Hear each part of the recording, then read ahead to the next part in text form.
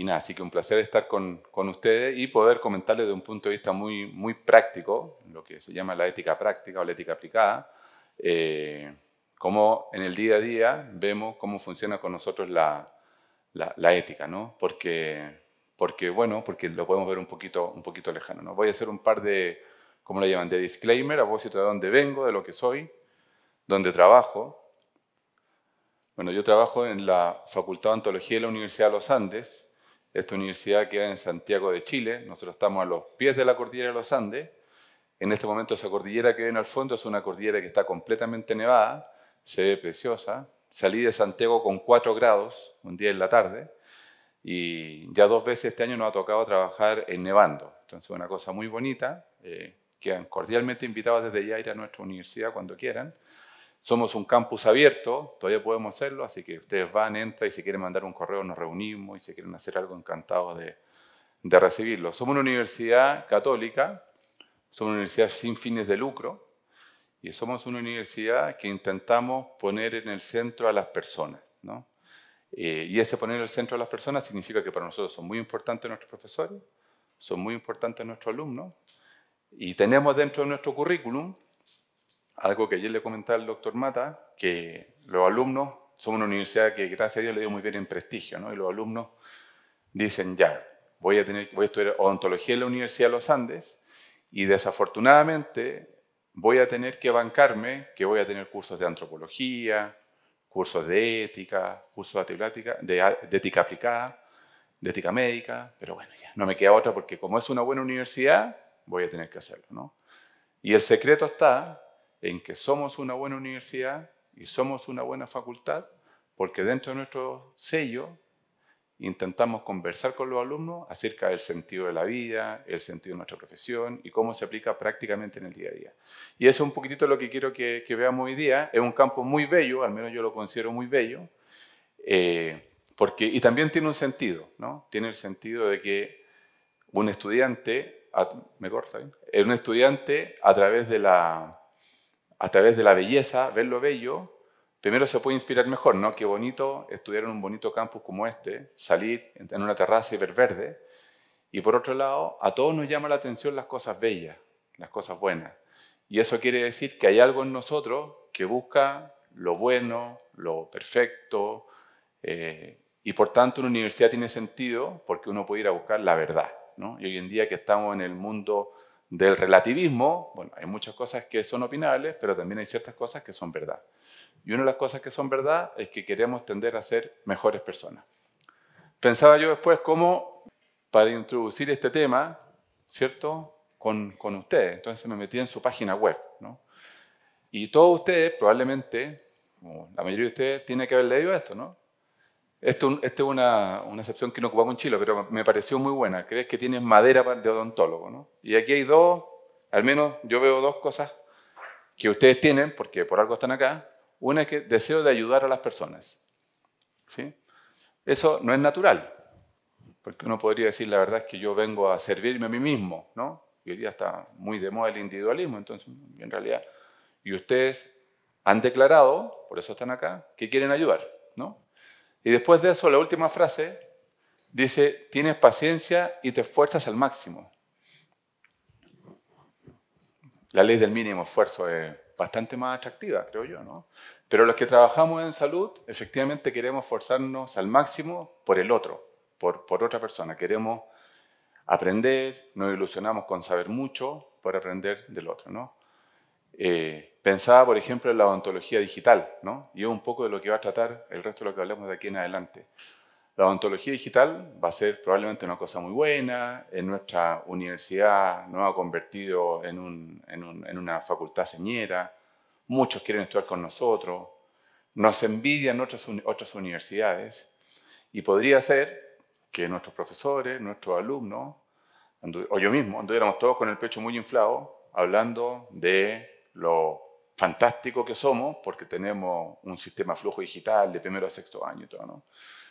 Y tenemos que recordarnos a cada rato que como venimos a servir, la odontología digital la queremos aprender para poder ser mejores profesionales y atender mejor a nuestros pacientes. Si se dan cuenta, en la misma odontología va a ser el mismo escáner, el mismo CEREC, el mismo flujo, Pero somos nosotros los que si tenemos claro a qué venimos, le damos un sentido completamente distinto.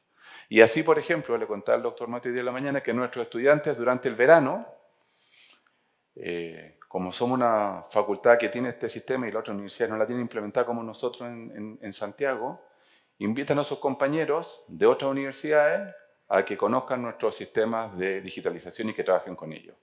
Y durante sus vacaciones se levantan temprano, eligen los pacientes, se organizan, le organizan el almuerzo, les cobran una cuota de dinero y todo, y le enseñan a sus compañeros a ocupar el sistema digital. Entonces, sabiendo que son afortunados, ponen eso que saben al servicio de los demás. ¿no? Y es lo mismo, ¿no? Es la misma ontología digital, pero puesta al servicio de los demás. Bueno, así que yo pienso que, a ver si es que luego del día de hoy, podemos llegar a responder esta pregunta, ¿no? ¿Se puede ser buen dentista y mala persona? Vamos a ver si es que, si es que juntos los convenzo de al menos la, la hipótesis que yo tengo, a ver si es que recorremos este camino. Primero, bueno, ¿por qué es necesaria la ética en nuestra profesión? Es la pregunta que nos tenemos que hacer, ¿no? Bueno, y de hecho yo creo que a ustedes les pasa, ¿no? Tienen su, tienen su, su malla y de repente alguien empieza a hablar de ética, de cosas, sí, un ramo medio extraño, no entiendo mucho. Bueno, será ya que estoy en la universidad, tendría que aprender algo de esto, ¿no? Para que me digan que soy universitario. Y la verdad es que, que en el caso nuestro no. Pues primero porque tenemos que tener un sentido del bien y el mal. O sea, cada cosa que nosotros hacemos son actos morales, son actos que puedo calificar de buenos o malos. Y en el caso nuestro, como tiene interacción, bueno, en realidad en caso de todos los seres humanos, pero nos vamos a enfocar en nosotros, ese sentido del bien y el mal eh, tiene que ver con cómo nos vamos formando, ¿no? O no formando, o deformando. Eh, y eso, en el caso nuestro, afecta directamente a los demás. Entonces tenemos que tener conciencia que como nuestros actos son morales, tenemos que irnos formando para ir tomando buenas decisiones porque eso nos van a ir formando. ¿Para qué estoy acá? ¿no? O sea, ninguno de nosotros autorizó, firmó ningún consentimiento formado para nacer. Estamos. ¿no? Entonces, bueno, tengo que ir buscando cuál es el sentido de mi vida, ¿no? ¿Para qué estoy acá? ¿no? Y hoy en día tenemos diferentes modelos. Pues yo veo eh, algunos modelos en, en, Instagram. Eh, tengo Instagram y TikTok, pero lo uso solo para seguir a mi alumno y todo, así que no se los doy porque es una lata a mí, todas esas cosas. ¿no?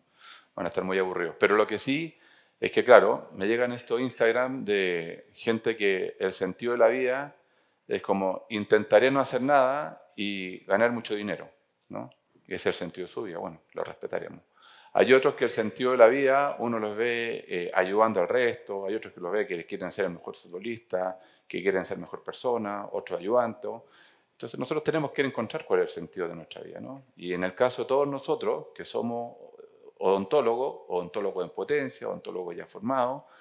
Eh, bueno, ¿cuál es el sentido de mi profesión? ¿Qué quiero hacer a través de mi profesión? ¿no? ¿Qué, qué, qué, qué, quiero lograr? Y algo que hay que preguntarse y les vale preguntarse. Y tal vez una cosa que puede servir es decir que quiero llegar a ser la, versión, la mejor versión de mí mismo. ¿no? Yo les doy ayer el ejemplo a los profesores que decía, bueno, tal vez algo fácil que podemos llegar, ¿no? Bueno, si yo quiero ser manzana, tengo que ser una manzana jugosa, rica, con sabor a manzana. Si por fuera soy manzana y por dentro alguien me mastica y estoy desabrido o huelo a pera, incluso si es una muy rica pera, no es manzana, pues yo quería ser manzana. Con, nuestra vida es lo mismo, ¿no? Nosotros tenemos una plenitud de personas, ¿no? que cada uno de ustedes la tiene que encontrar, la tiene que buscar, pero algo tenemos, ¿no? A propósito de lo que hablábamos al inicio, el sentido de belleza, el sentido del bien, el sentido de la perfección. Los seres humanos, los dentistas además tenemos, desarrollamos un TOC, los que no lo han desarrollado, lo van a desarrollar, tenemos un trastorno con que nos gusta que las cosas nos salgan perfectas. Y es parte de nuestra profesión nomás, ¿no? Pero tenemos que irle dando un sentido a eso, bueno, ¿por qué lo hacemos? ¿Por qué nos pasa? Y después cuando quiero estudiar la moral, ¿cierto? Bueno, hay personas que se dedican a hacer un estudio sistemático de la ética y dice, fíjate que a propósito del hombre, ¿sí? va recogiendo virtudes, parece que la felicidad va por este lado o por este otro, y eso se, sistematiza, y, esta sistematización se llama el estudio de la ética, ¿no? que estudia, por lo tanto, lo moral, los actos buenos y son malos. Y desde el punto de vista muy antropológico, o sea, muy desde la persona, sin poner en esto otras razones que no sean las antropológicas, ni religiosas, ni nada, dependiendo de cada cultura, se estudia la ética.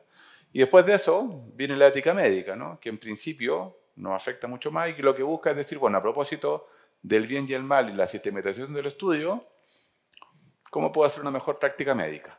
Una mejor práctica en nuestra profesión. Y por otro lado, ¿cómo nos ponemos de acuerdo en un conjunto de reglas y principios para poder sacar adelante lo que hacemos? Es muy simple, ¿no? Y parece, por lo tanto, yo creo que ustedes estarán de acuerdo conmigo, que nos conviene saber de la ética. Porque si sabemos de ética, podremos tener una mejor práctica con, nuestro, con nuestros pacientes. Y hay cosas que son, hace mucho tiempo yo no podría decir, bueno, me quedo aquí, esto es lo que estudié punto, ¿no?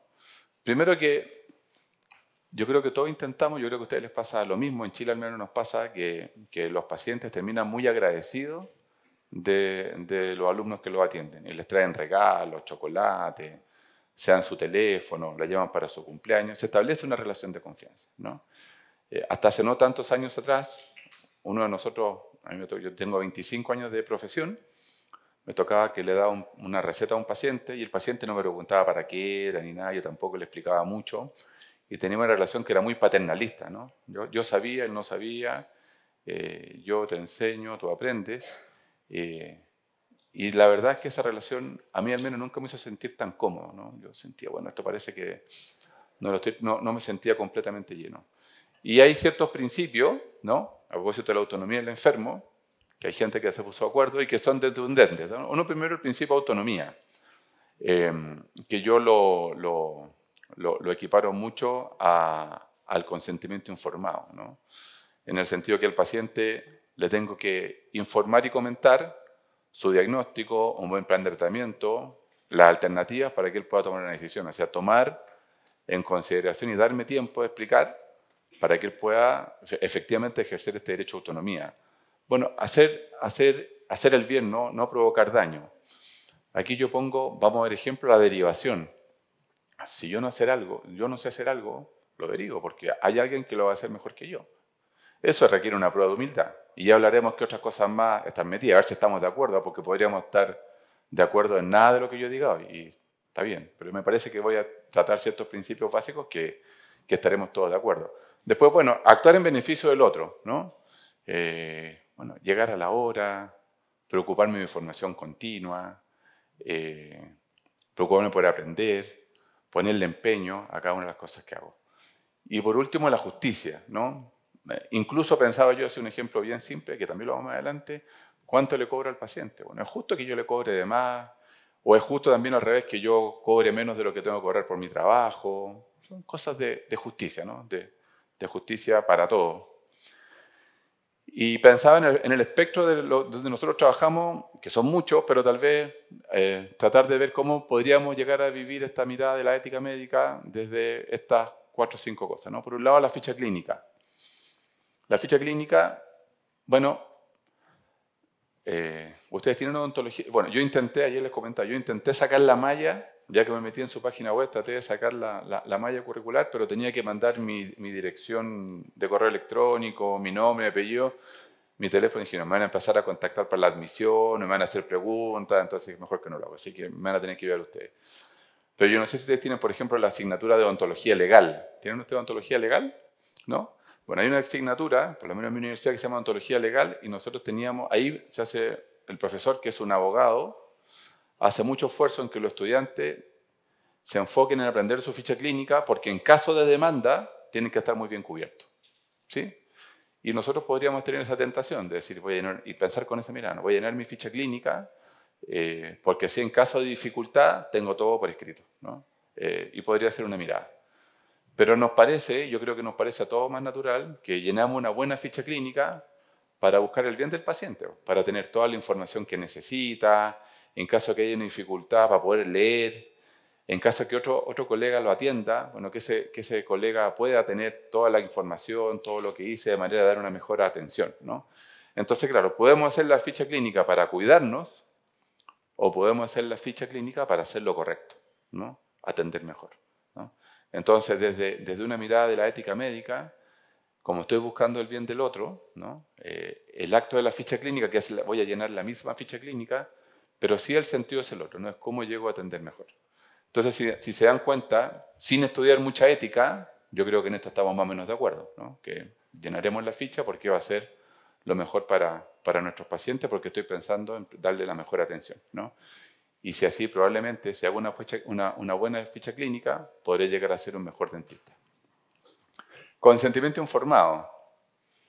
Bueno, una posibilidad que yo lo llene, porque mira, aquí puede haber una complicación y mejor le digo a este paciente que firme este papelito porque así me evito dificultades, ¿no? Entonces, en caso que haya un accidente, una complicación, bueno, aquí está firmado el papel que usted me dijo, ¿no? Pero una cosa muy distinta es que tengamos un interés genuino, llenando el mismo consentimiento informado, en que ese paciente, porque lo respeto, porque lo valoro, sepa el acto médico que voy a hacer y cuáles podrían ser sus eventuales complicaciones, lo que podría pasar, ¿no?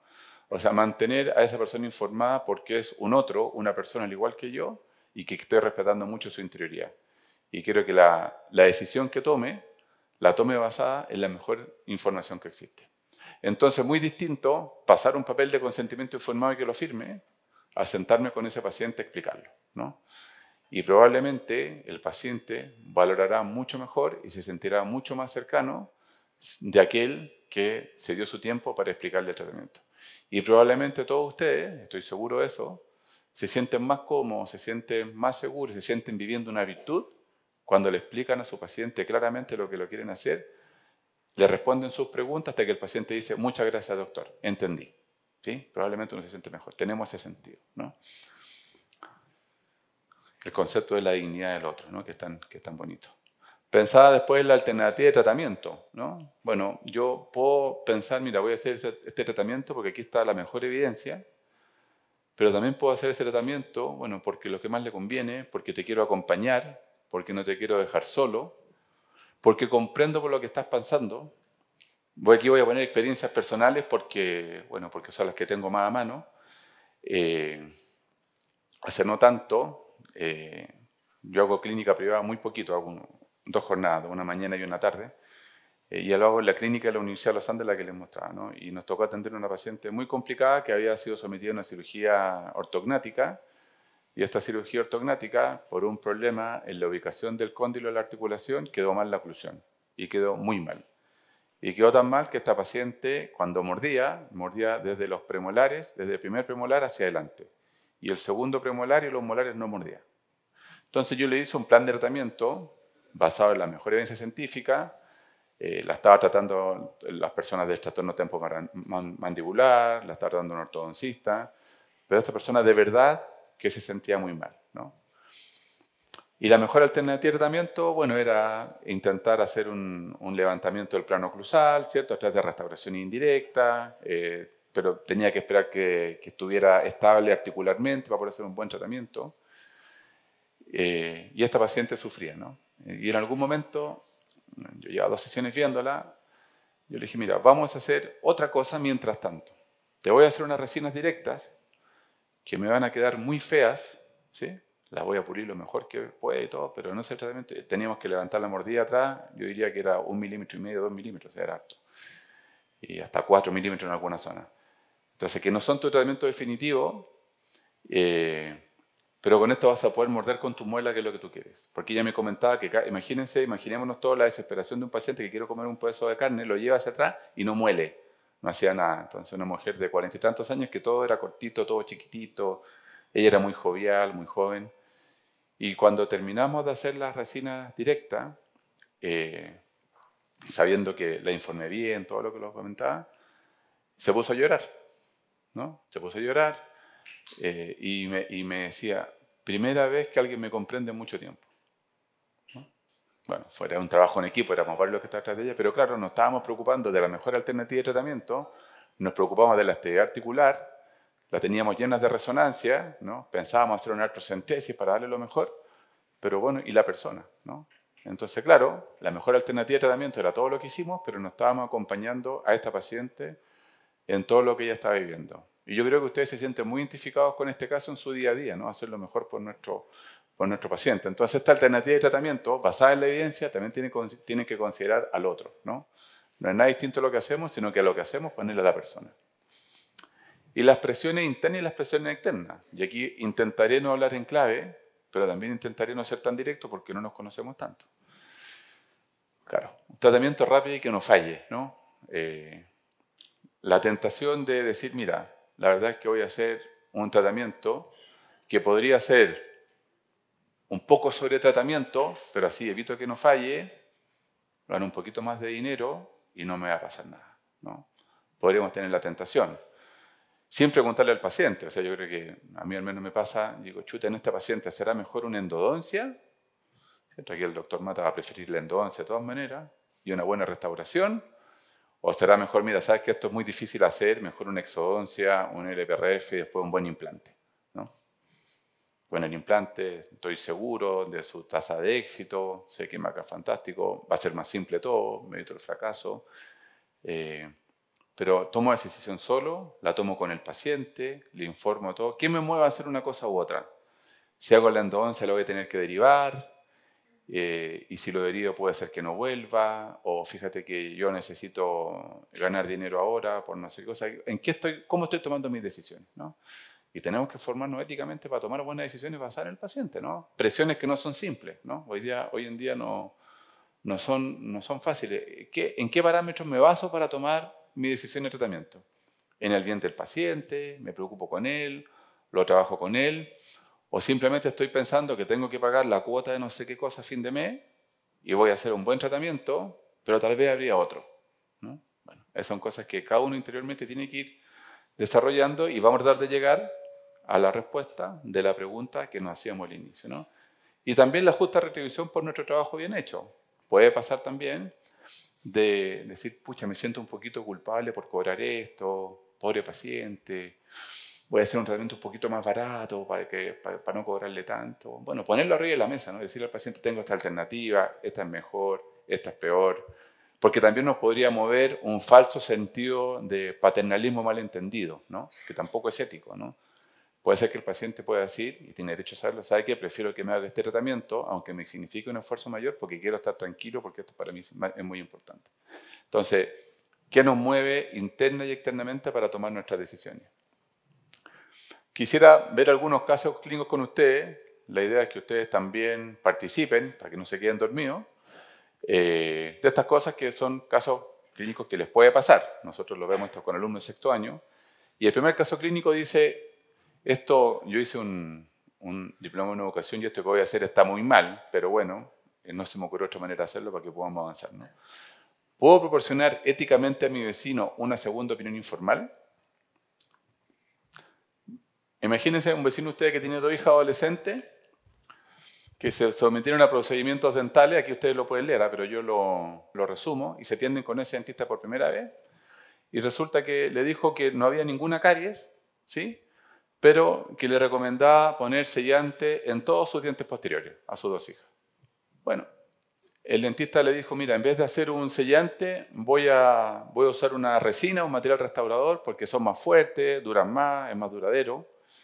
Y el vecino consintió el uso de este material restaurador, por lo que cuando el dentista le pasa el papel este de, la factura para el seguro, le pone 16 restauraciones y no 16 sellantes, él lo encontró normal. ¿no?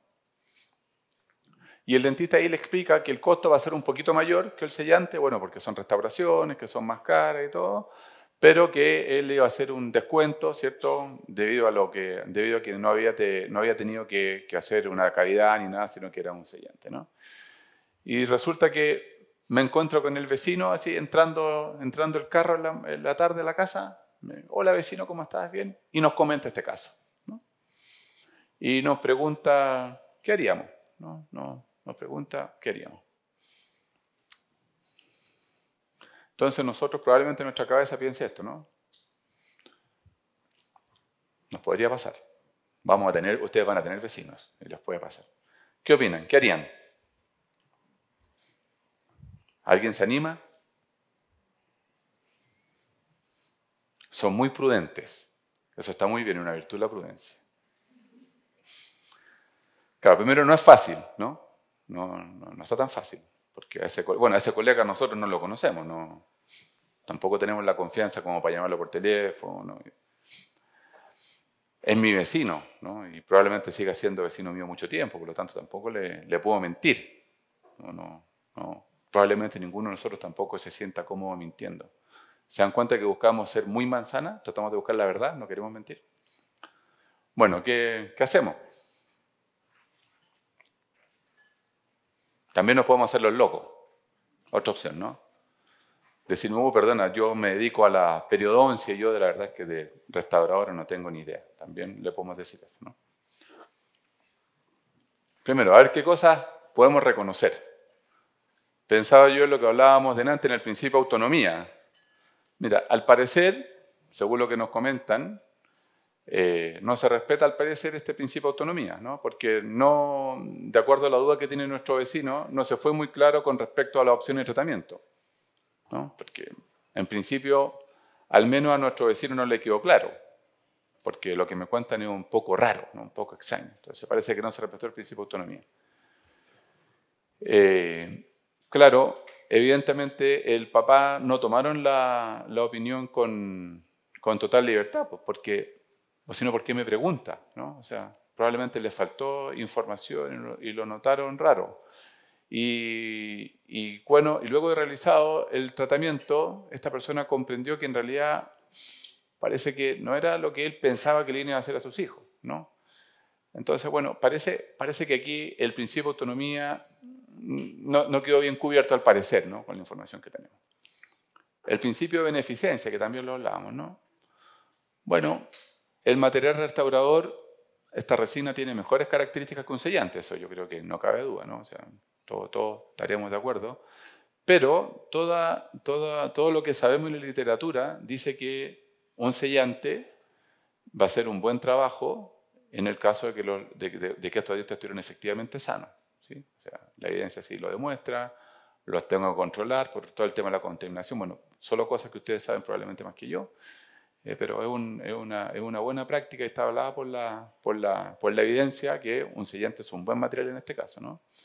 También, bueno, el material es más accesible económicamente. ¿no? Aquí lo veíamos, que lo cobraron un poquito más eh, por el material restaurador y un sellante costaba un poquito menos eh, y hubiese hecho eh, probablemente una, una, una, buena labor en el caso de estos pacientes. ¿no? Y podríamos interpretar esta decisión como un interés particular de ganar más dinero, en vez de obrar en bien del paciente, ¿no? que también incluye lo económico. O sea, ese dinero que el paciente no, no, no, no gasta en, en, en, este material restaurador se puede gastar en otra cosa. ¿no? Así que tampoco estamos respetando ese principio de, de justicia. ¿no? Y aquí pensaba yo en, el, en, en qué valores podríamos ver que están involucrados en este caso. Primero, claro, yo creo que por eso ninguno de ustedes se atrevió a hablar, ¿no? Porque nos falta información y queremos ser prudentes. ¿no? O sea, ¿no? es un caso complejo al menos. Como nos explica nuestro vecino, no sabemos si nos explica bien, si nos dijo todo, si entendió bien, no lo sabemos, por lo tanto, al menos es un caso complejo porque no podemos tener toda la opinión. Claro, y hay varias situaciones posibles. Una puede ser que efectivamente las hijas de nuestro vecino no tuvieran caries. Es una posibilidad. Y dentro de esto hay dos posibilidades, ¿cierto? Una, de que este dentista, que no conocemos, lo haya hecho para ganar más dinero, ¿cierto? A propósito del seguro y todo. Y otra posibilidad, que él efectivamente esté convencido que estaba haciendo lo correcto y que esa era la mejor solución para atender un paciente sin caries. No sé si aquí estarán de acuerdo en, que si es que no hay caries, la mejor opción es una resina compuesta. ¿Están de acuerdo con eso, no? Yo al menos no. ¿Ustedes tampoco? ¿No? Parece que no.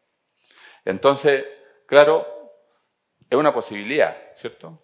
Que fíjense que aquí el mismo dentista pueden pasar dos cosas o que esté actuando de buena fe o que esté actuando movido por estos conflictos internos que hablábamos. ¿no?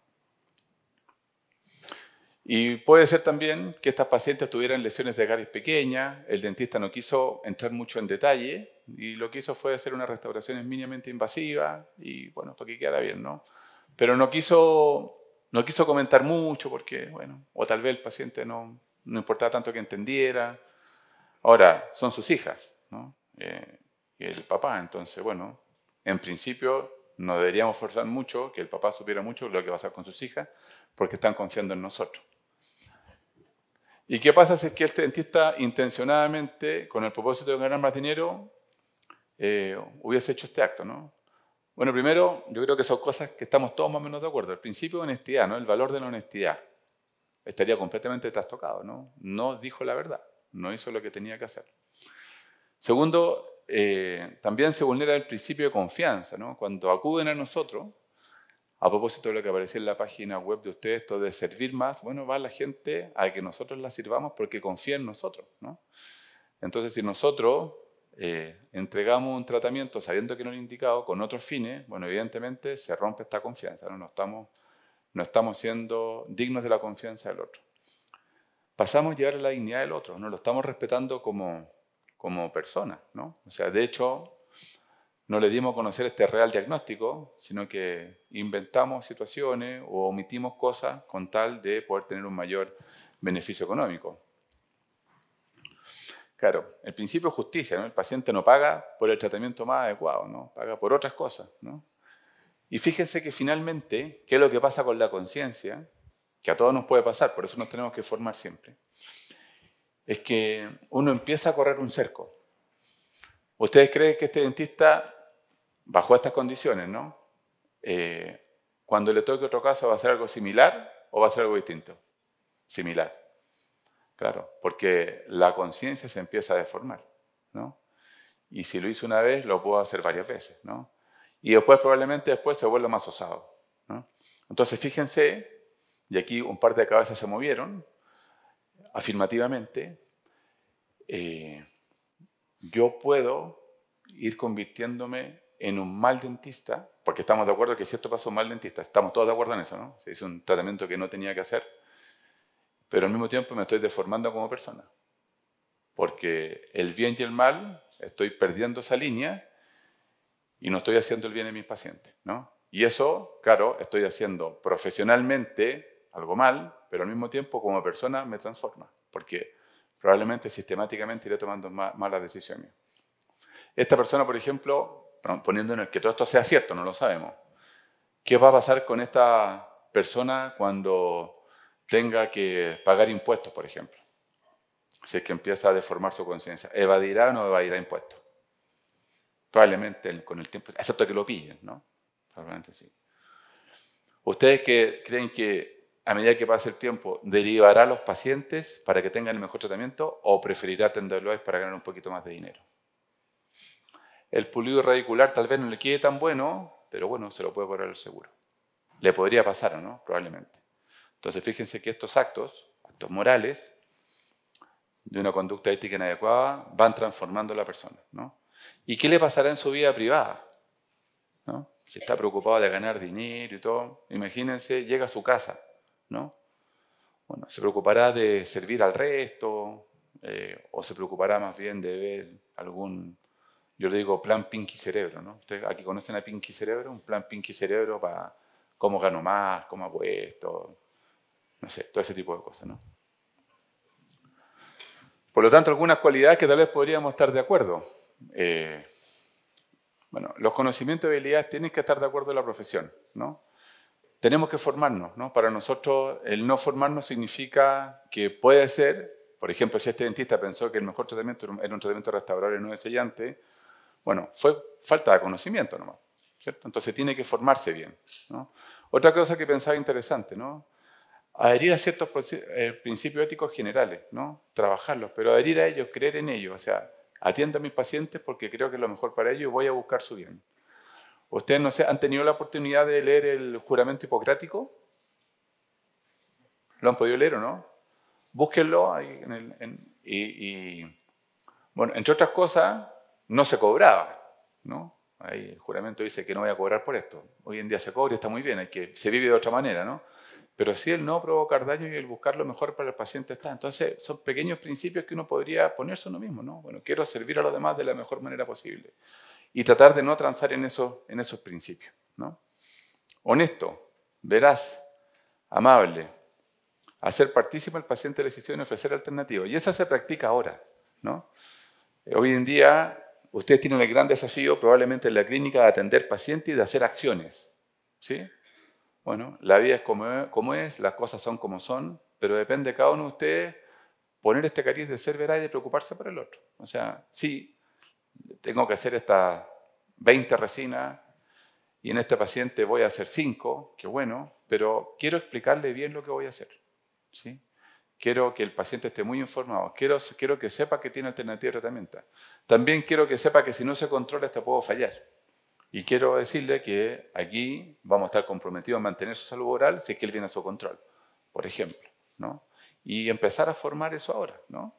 Eh, ustedes van a salir, créanme, mucho más contentos de la clínica cuando vean que hicieron un bien por su paciente. Si las resinas le quedaron bien, es una cosa fantástica, además les conviene si no reprueban, ¿cierto?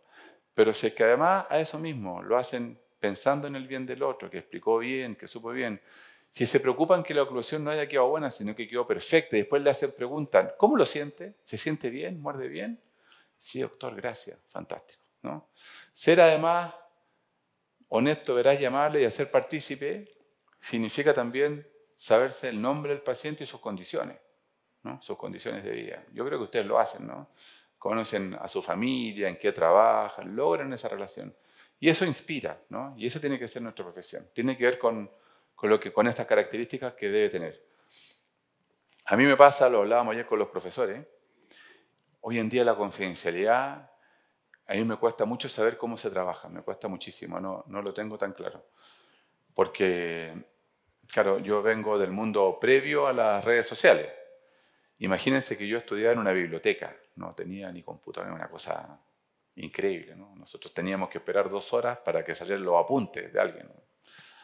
Eh, gracias a Dios hoy día no pasa, pero el sentido de la privacidad, ustedes están más conscientes que yo del desafío de la privacidad. Hoy día lo privado es muy poco lo que tienen ustedes, ¿no? Que algo de la vida interior, ¿cierto? Algo de mi conciencia, pero el resto poco y nada. Yo no sé si aquí estará de moda que para promocionarse los dentistas se toman fotos con sus pacientes en la consulta o hacen reels, ¿cierto? Y los muestran, pacientes contentos, dentistas contentos, o un día yendo a la consulta de no sé quién y hacen un video mostrándole todo. Digo, bueno, los llamados a respetar la, la privacidad del paciente primero somos nosotros, ¿no? ¿Y ese paciente estará consciente o querrá participar de algo? Bueno, ahí tienen ustedes un, desafío muy grande. ¿Cómo lo van a enfrentar ustedes? Muy grande. ¿no? O sea, ¿qué son las radiografías para nuestros pacientes? Es una cosa que al menos yo no la tengo clara. Me pasa en la universidad que los alumnos les toman y se suban sus redes sociales fotos con el paciente terminando. ¿no? Sí, el paciente le firma un papelito porque hicimos un papelito informado, pero ¿el paciente realmente sabrá o está participando de la onda? Yo creo que son desafíos que ustedes tienen que tienen que resolver. Yo no tengo ninguna receta mágica. Como decía al principio, cada decisión es única y, ustedes tendrán que tomarla, porque en alguna irán hacia la virtud y en otra irán hacia la virtud, ¿no? Pero informar bien a ese paciente. Yo creo que es un desafío que ustedes tienen por delante, ¿no? Pensaba, bueno, atender oportunamente, preocuparnos de atender a la hora, preocuparnos de atender puntual. Y desde acá, ¿no? Yo ayer no les di esta idea a los profesores, pero se las doy a ustedes para que no me odien, no se la digo a los profesores. Yo al menos que hago clase en segundo año en una sala de simulación, mi clase parte a las 2 de la tarde. Yo 5 para las 2 le pongo llave en la puerta. Y los alumnos que están adentro participan de la simulación. Nosotros tenemos que llegar antes que los pacientes. Tenemos que llegar antes para estar preparados, para poder recibirlo, para poder acogerlo. Y eso significa aquí en la universidad prepararse. Ponerse como meta, voy a llegar antes. ¿no? Una meta bonita, porque así después voy a hacer una, una atención más oportuna y el paciente va a entender desde el inicio que estoy preocupado de él. Bueno, eso es lo que al menos yo creo, ¿no? Bueno, comportamiento frente a interconsulta. Si me hacen una interconsulta, es para que yo interconsulto. ¿sí? El paciente va, recibe mi opinión y vuelve al dentista. Puede pasar que este paciente me diga, oye doctor, usted es, tan, usted es tan simpático, tan simpática, me atiende tan bien, me queda más cerca de la casa, ¿me podría seguir atendiendo con usted? Nuestra respuesta tiene que ser un tajante no. Es una interconsulta, tiene que, está muy bien, pero yo respeto. Y ese paciente se va a llevar una muy buena impresión de usted. Cuesta, cuesta, ¿no? Porque, pucha, aquí hice buenas migas, puede llegar su familia y todo, y eso hay que ensayarlo, ¿no? Aquí en la universidad también ustedes tienen que hacerlo. Y la derivación, pues, si yo no sé tratar algo bien, o hay alguien que lo pueda hacer mejor, derivarlo, eso es humildad, ¿no? Humildad y fortaleza. Fortaleza porque puede ser que no esté de moda y necesito el dinero, tengo que pagar la cuenta, tengo que terminar el programa, pero la verdad es que hay alguien que lo pueda atender mejor y que le va a dar una mejor respuesta. Bueno, así tenemos que, creo yo, desde, el punto de vista de la ética, trabajar nuestras derivaciones. ¿no? Bueno, vuelvo a la pregunta inicial. ¿Puedo proporcionar éticamente a mi vecino una segunda opinión informal? Pensaba yo primero en la templanza, ¿no? Porque a todos se nos vino a la cabeza, este hombre estaba haciendo un negocio. Bueno, aprender a callar, ¿no? Aprender a callar para poder pensar, la prudencia, ¿no? Nosotros, en nuestra profesión, eh, algo que nos tiene que animar es que los pacientes sepan que somos universitarios, que nos formamos, y eso significa ser muy prudentes, ¿no? Eh, no sé si aquí está muy desarrollada la opinología. En mi país sí. Existen estos, estos shows de farándula y hablan de los famosos y, todo, y todos dan unas opiniones destempladísimas sin conocer nada. ¿no? Nosotros tenemos que estar muy lejos de eso. Nuestra formación, nuestra formación ética nos impide hablar mal de otro y nos impide ser muy prudentes en nuestro razonamiento. Y el paciente vamos a saber que estamos bien formados. ¿no? Entonces, acuérdese su opinión. Y la honestidad, pues, ¿no? La honestidad. Yo al menos le diría a este vecino, bueno, ¿alguien tiene una idea de lo que le diría al vecino? Nadie se va a casar con ninguna, nadie se va a casar con ninguna opinión. Yo lo quería, tal vez esté muy mal, pero lo quería decirle, mira, es muy difícil. Yo no tengo toda la información. Pero lo que sí, me parece que hay cosas de lo que tú me explicas que no te queden raras. Yo al menos iría de nuevo a ese dentista y pídele que te explique bien para que sepas qué fue lo que pasó. Parece razonable. ¿no? Y después sabremos más. ¿sí? Pero bueno, me parece que eso intentamos vivir aquí, estas tres virtudes, ¿no? La templanza, la prudencia y la honestidad. Caso clínico 2, puede ser más interesante. Aquí tengo una amalgama muy profunda en un diente sin endodoncia y un tercer, tercer molar eh, que no terminó de erupcionar. ¿no? Y el paciente que lo conozco hace muchos años, fíjense que me dice que tiene un dolor difuso hace muchos días y se observa eso. Y lo que yo intento hacer es, este profesional, dentista cabecera, o sea, lo conoce hace muchos años, era su dentista toda la vida, su familia y todo dice, mira, no, no lo tengo muy claro, pero puede ser la amalgama, así que vamos a partir por la amalgama y te voy a sacar esa amalgama y vamos a ver qué sucede. Saca la amalgama, no hay comunicación, pone un material de recubrimiento, lo deja y se vuelve en un par de días. Cuando el paciente vuelve en un par de días, le dice, mira, me siento igual, la molestia sigue igual. Ya, te voy a hacer entonces la endodoncia de ese diente, de la 4-6 y hace la endodoncia ese diente, una endodoncia bien hecha y todo, y eh, vuelve el paciente nuevo y le dice, mira, sigo igual. Entonces dice, bueno, ya que no es la 4-6, probablemente sea el tercer molar, así que vamos a proceder a la exodoncia del tercer molar, te voy a dar antibiótico, analgésico, analgésico vuelve en unos días más.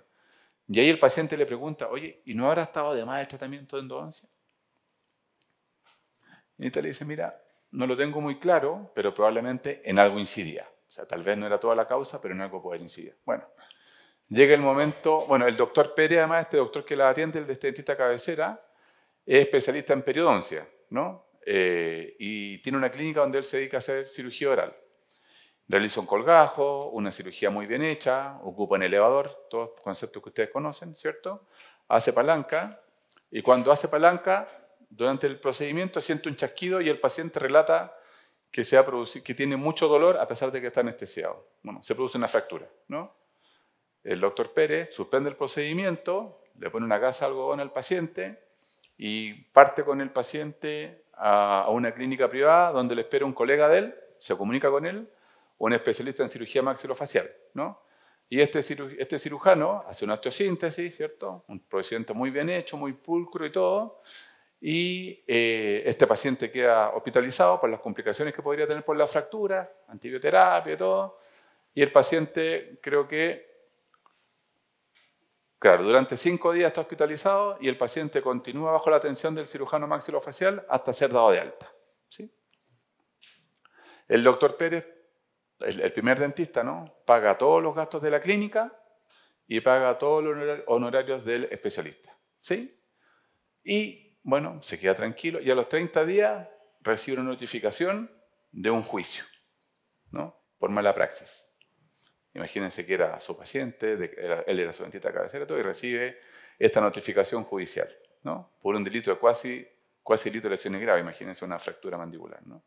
Y, este, y de un largo juicio que dura tres años y el dentista sale absuelto, ¿no? Porque, bueno, tenía su ficha clínica y todo, eso, bueno, estaba bien cubierto y esto era un hecho, fortuito, un hecho que podía pasar. ¿No? Bueno, se entiende más o menos el caso, ¿no? Nos podría pasar. Ojalá que no nos pase, pero nos podría pasar. Las consideraciones éticas de este caso. ¿no? Pensaba, en primer lugar, bueno, faltó un diagnóstico diferencial y un buen análisis semiológico, ¿cierto? O sea, eh, evidentemente, claro, por lo que sabemos del caso, esta endodoncia parece que no iba por ahí el dolor, sino que iba más bien por el lado de la, de la, de la pericoronaritis, ¿no? de este tercer molar. Entonces faltó un diagnóstico diferencial, darse tiempo y hacer un buen análisis semiológico de este paciente. ¿no? Probablemente yo creo que ahí estamos todos más o menos de acuerdo a esto. ¿no? O sea, faltó eh, profesionalismo, ¿no? faltó hacer lo que había que hacer. Probablemente nosotros no escuchamos en ningún momento, probablemente porque era su dentista de cabecera, se conocía hace mucho tiempo.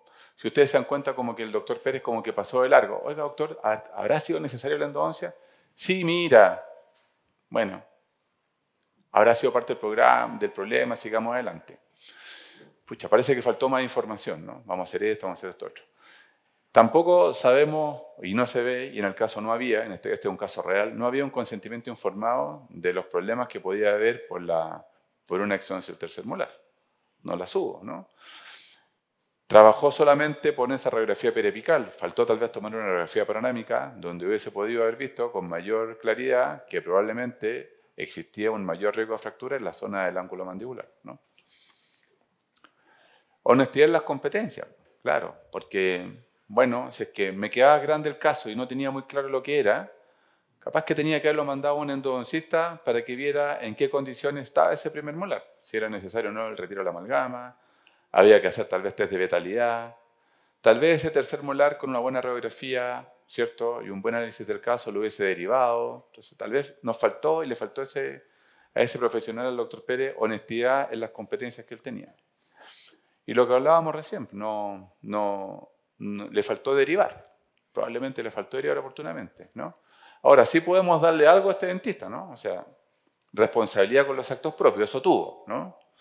O sea, este, sin duda que, imagínense, acompañó al paciente, lo llevó él mismo a la clínica, pagó los gastos del médico, pagó los gastos de la clínica, o sea, se hizo responsable de todo lo que había sucedido con el, con el paciente, ¿no? Entonces, uno puede decir, bueno, este dentista en principio actuó muy responsablemente, ¿no? Parece ser una persona que se hace responsable de sus actos. Entonces, bueno, y lo acompañó, ¿no? O sea, fue con él, porque también lo había puesto la casa y si le anda a verte a otro lado, que hasta aquí llegó yo, lo acompañó a la clínica, pagó la cuenta, probablemente cuando pagó la cuenta le preguntó, oye, no te preocupes, yo cubro los gastos, ¿cómo has estado? Entonces lo, lo acompañó, ¿no? Entonces, claro, con estos dos casos, yo creo que nosotros más o menos podemos volver a esta pregunta, ¿no? Si se puede ser buen dentista y mala persona. Y yo veía, no sé si estaremos de acuerdo, en el caso 1, si es que se dieron todos los considerios que hablábamos, ¿se acuerdan del paciente de los seguros? Bueno, probablemente estas restauraciones le quedaron muy buenas. ¿no? O sea, yo creo que esa resina compuesta sobre dientes sanos le tiene que quedado buena, por lo menos. ¿no? Pero al parecer estábamos, si es que se dan todos estos parámetros, estábamos a cargo de una persona que no tenía muy clara la honestidad. Por lo tanto, probablemente no era una buena persona. ¿no? Estaremos todos de acuerdo en eso. Y el segundo, en el segundo caso, parece que era una buena persona. El dentista cabecera, trató de ayudar, se hizo cargo de la cuenta, lo acompañó. Cuando se dio cuenta que había una, una fractura, él mismo lo acompañó y lo dentista. Parecía una buena persona, ¿no? Pero parece que como dentista no era tan bueno, pues no hizo un buen análisis semiológico, no hizo un buen diagnóstico diferencial, no hizo una buena derivación, Entonces parece que por ahí también falló, ¿no? Entonces fíjense que aquí podemos ver los dos casos, ¿no? O sea, por un lado, un dentista que desde el punto de vista técnico hizo muy bien su labor, ¿cierto? Pero probablemente no era lo que había que hacer, ¿no? Y por otro lado, un dentista que desde el punto de vista de la persona acompañó a su paciente frente al error, frente a la equivocación, frente a la complicación, pero donde evidentemente a todos nos queda claro que falló en un buen diagnóstico, en hacer lo que tenía que hacer. Entonces, al parecer, y volviendo, y con esto termino, parece que solo se puede ser un buen dentista de plenitud siendo buena persona. ¿no? O sea, la única manera de atender bien, no nos queda otra, ni más remedio, de ser una buena persona. O sea, si nosotros somos capaces de ver en el otro una persona con dignidad, podemos actuar éticamente, porque haremos lo mejor para el paciente. En, nuestra, en nuestra profesión, que es una profesión de servicio, pensar en el otro como una persona que tiene todo el derecho a saber toda la información, que tiene toda la dignidad y que tengo que estar muy preparado para atendernos, nos va a llevar a qué? A la formación continua. O sea, ustedes se están preparando para ser buenos profesionales y ponen su mayor esfuerzo para atender bien. ¿sí? Eh, probablemente como consecuencia de esto también podrán tener un buen vivir, ¿no? No solamente del, punto de vista económico, sino que pondrán la cabeza en la almohada todas las noches con la sensación del deber cumplido. ¿no? Si es que ustedes se preparan bien, tendrán una buena relación con sus colegas, porque, claro, derivarán, harán interconsulta, la gente confiará en ustedes para, para derivarles pacientes y la gente se sentirá cómoda con ustedes. Habrá dificultades, habrá problemas, como en todos lados, pero hay una actitud y se nota, ¿no? Esa buena persona que acoge, que recibe, pero que al mismo tiempo es un buen profesional, ¿no? Esta vía Y esta vía plena, que al menos de lo que yo estoy convencido, si yo soy capaz de llegar a, a mi casa con la conciencia de que hice mi mayor esfuerzo, ¿no? Que mis pacientes se fueron agradecidos por lo que hice y yo llegar a mi casa sabiendo que derivé lo que tenía que derivar, atendí oportunamente lo que tenía que atender, informé lo que debería informar, voy a llegar a mi casa más tranquilo. Y si llego a mi casa más tranquilo, probablemente podré salir a cenar con un amigo, con una amiga y pondré mejores temas, ¿no? Andaré con buena cara, ¿no? Porque alguien que anda en la, en la maldad, ¿no? Alguien que anda haciendo las cosas medio mal, no anda muy contento anda contento a veces, ¿no? Pero alguien que hace el bien anda siempre contento. Yo creo que a ustedes les pasa, no sé, eh, cuando ayudan a otro, se sienten bien, ¿no? Yo no sé si ustedes hacen trabajos sociales en su, en su profesión, si van a ayudar a algún lado, pero cuando uno va a ayudar a alguien en lo que sea, uno se siente bien. Entonces, en nuestra profesión es lo mismo, ¿no? O sea, solo cuando vivimos nuestra carrera con la plenitud de la ética y cuando podemos llegar a ser dentistas con la plenitud de ser una buena persona es cuando nos sentimos completamente realizados. Y ahí se complementa nuestra labor profesional con nuestra vida eh, personal. Nosotros, sería muy raro que alguno de ustedes, por ejemplo, en la consulta, le dijera al paciente lávese los dientes y que llegara a su casa y en su casa no hubiera pasta de dientes para nadie. Eso es muy raro. ¿no? O sería muy raro que usted llegando a su casa les preguntara a su, la gente que vive con usted acerca de un antibiótico y usted dijera, no tengo idea, pregúntale a otro. Porque uno nunca deja de ser todo lo que es. Aunque yo me saque el delantal, sigo siendo odontólogo, y aunque me ponga el delantal, sigo siendo la persona que soy. ¿no? Entonces, esa unidad de vida, ¿no? esa integración es la que nos permite ser plenos. Por lo tanto, lo que los quiero animar es ver la ética desde un punto de vista práctico más allá de las clases y todo, atender a nuestros pacientes, porque la fórmula para llegar a una vida plena es vivir de buenas decisiones morales. ¿no? Y que créanme, y si no me creen, inténtenlo, y yo sé que ya lo han vivido, que hacer acciones buenas y hacer el bien y formarse bien nos va a llevar una, una vida en plenitud. Ese es un mensaje que les quería venir a contar, lo que lo animo a vivir, la esperanza que les quiero dar, eh, y espero que, que les haya gustado lo que, lo que les quería presentar el, el día de hoy.